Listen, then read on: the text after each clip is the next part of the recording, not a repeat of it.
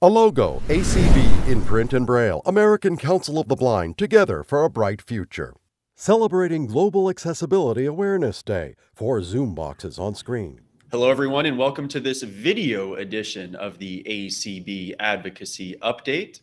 My name is Clark Rachfal, and I am the Director of Advocacy and Governmental Affairs for the American Council of the Blind.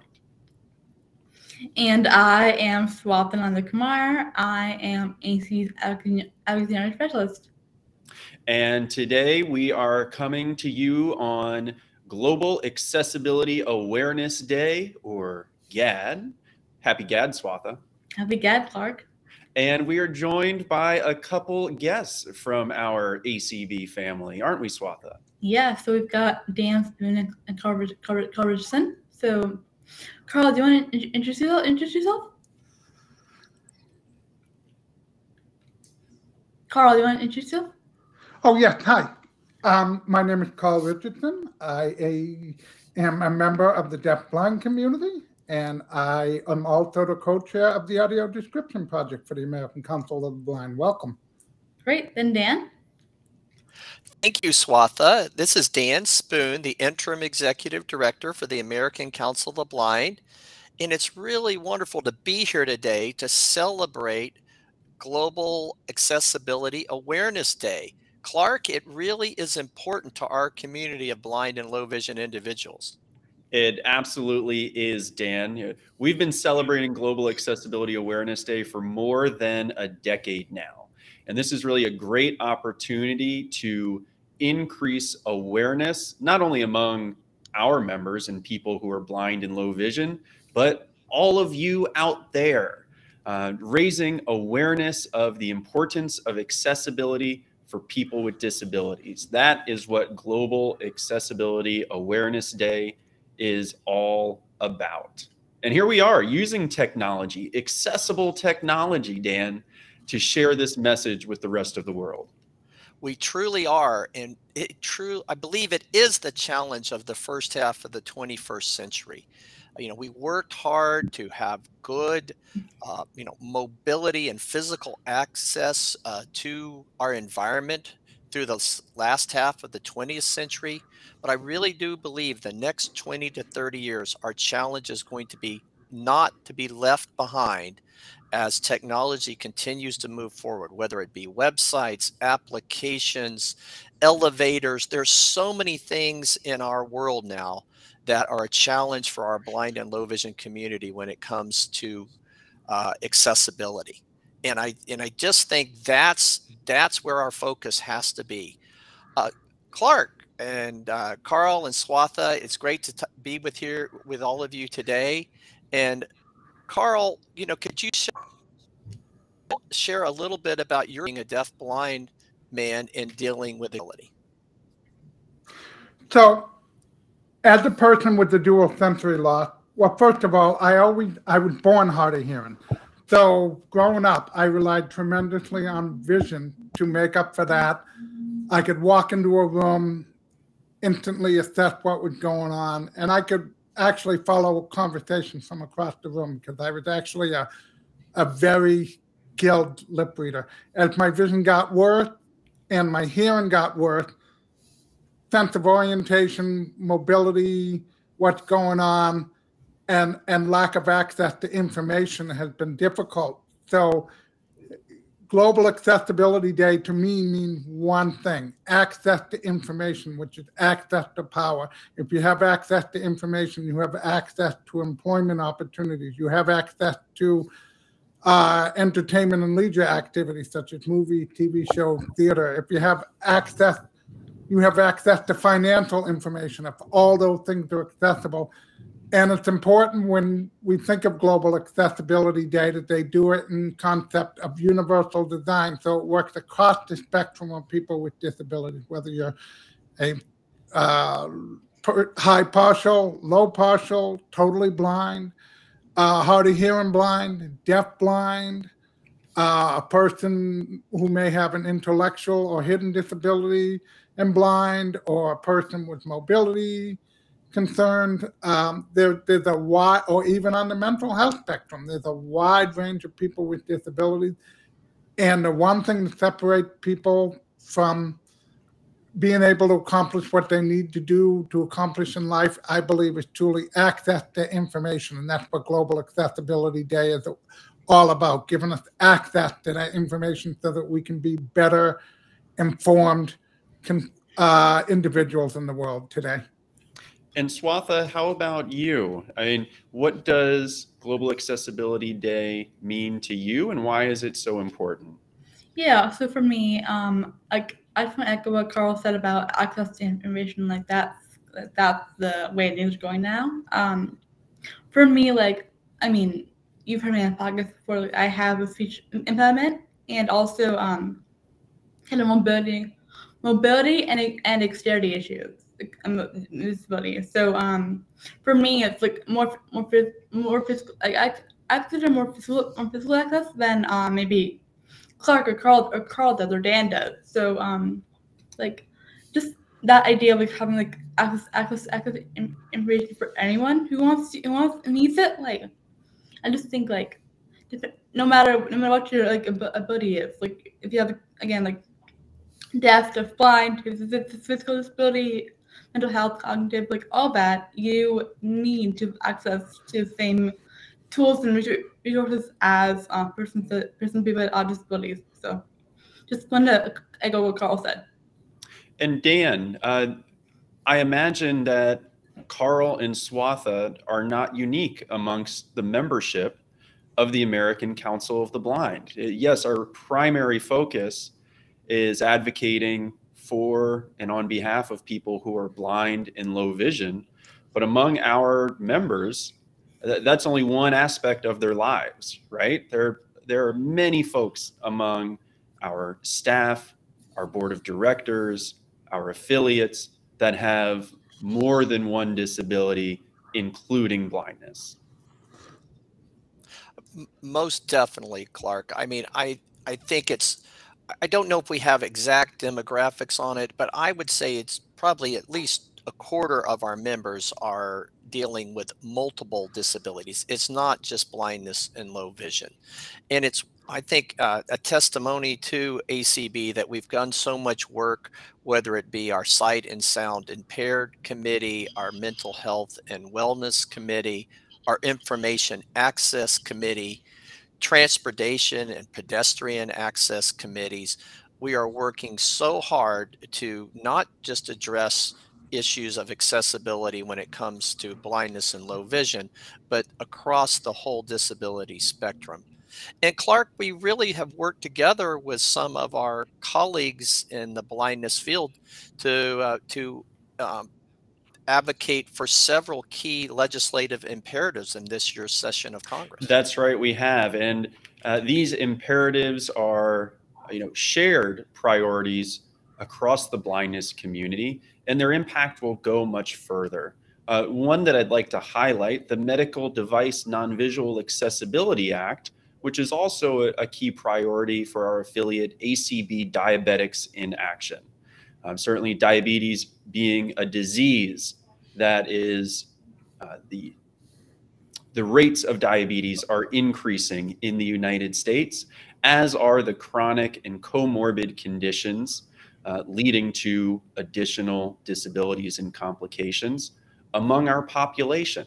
Uh, we're fortunate that that bill has been reintroduced on a bipartisan basis to make at home monitoring and remote diagnostic medical equipment accessible. And in the House of Representatives, that is H.R. 1328.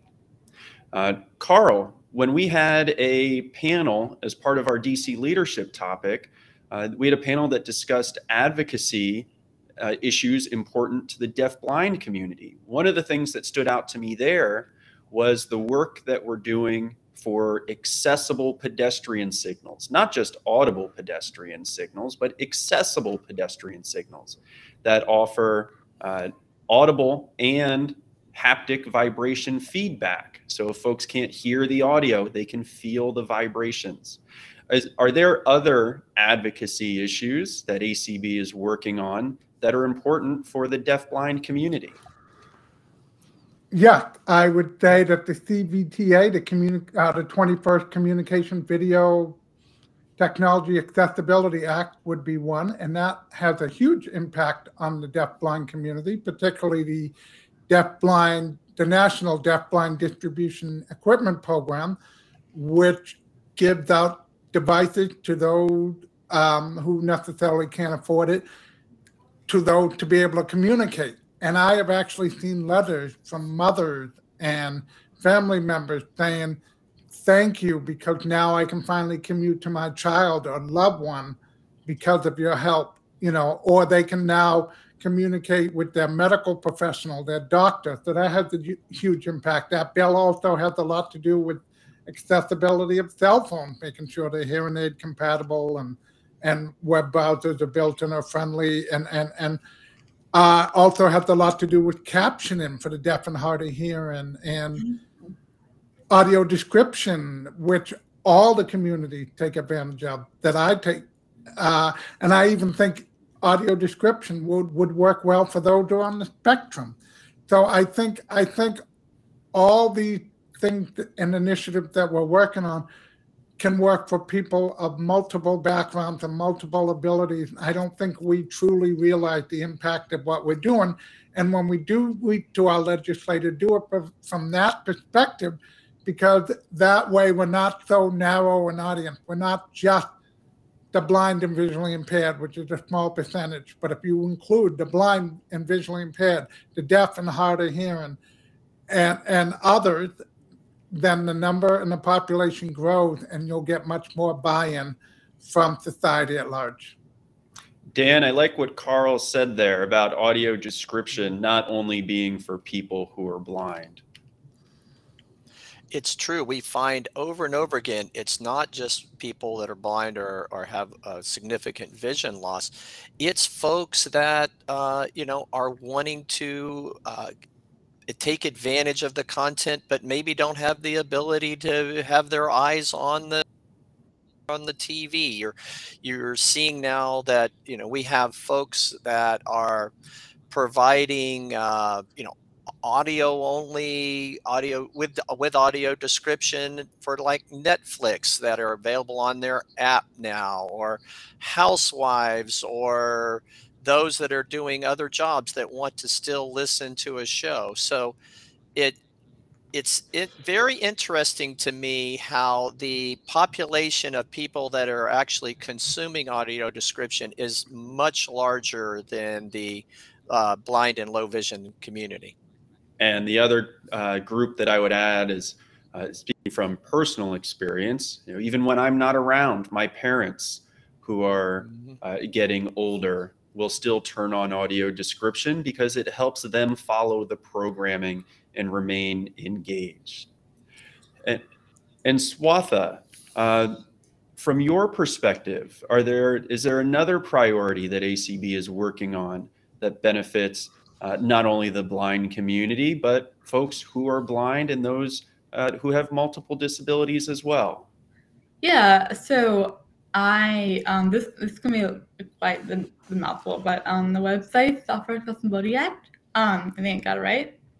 I just wrote in there, but um that like we call that the web access web access bill web access bill, but um this bill um introduced by Duckworth last year um it would kind of set standards for web for websites and app, apps that um take, take, take, take into account like access for people people with disabilities, not to blindness. So like um person person who who uses a switch, like um a device meant for um physical physical physical mobility motor access. Um like it would make sure those websites uh, websites apps can uh, can accommodate that or can be used used used with that. Like for me, like I don't use I don't use Switch, but I use like I I try use my like I use my keyboard a lot, a lot more now. Um, so I mean, it's like it's pretty important for me to have access access by by a keyboard via like key commands to um parts of the website. So um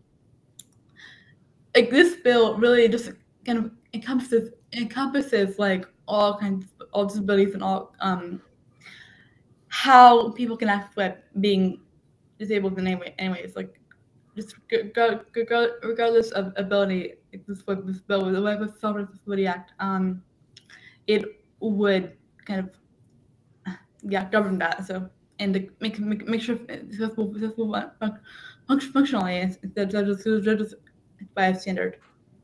Thank you, Swatha. And absolutely, yes, the blindness community is supporting the web access legislation, but so is the deaf and hard of hearing community.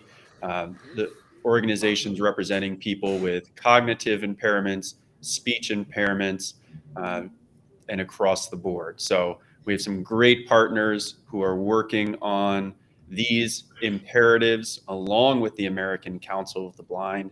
And our work will continue. We're here to celebrate on Global Accessibility Awareness Day the gains that have been made, but we know that there is still plenty of work that remains. And I'd like to take this opportunity to encourage everyone to join us in that advocacy work. Uh, also, to join us at our annual conference and convention. Dan, uh, registration is now open for the ACB conference and convention, and that'll be a great opportunity, again, to celebrate accessibility and celebrate disability. Very much so. Clark. We will be uh, opening up with our opening ceremony on July 1st, and it'll be running through our banquet on July 6th. So we encourage everybody to register. And you can participate either virtually or in person. And we'll also have lots of hybrid events where everybody can come together and share. So we really encourage everybody come to Schaumburg, Illinois, just right outside of uh, Chicago and join, a, join us for a, just a really inspirational and informative week. That's right. In person, virtual, hybrid, uh, CART live transcripts and captioning, as well as Spanish language translation. Uh, folks, if this doesn't celebrate access and global accessibility awareness day i don't know what does so please check out acbconvention.org and as always if you have a question or if there's a, a certain element of it accessibility um, that you are celebrating, please share it in the comments of this video.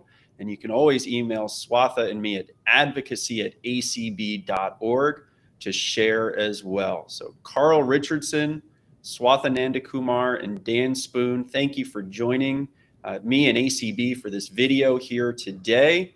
And here on Global Accessibility Awareness Day, as in all days of the year, we like to tell folks to keep advocating. They all smile.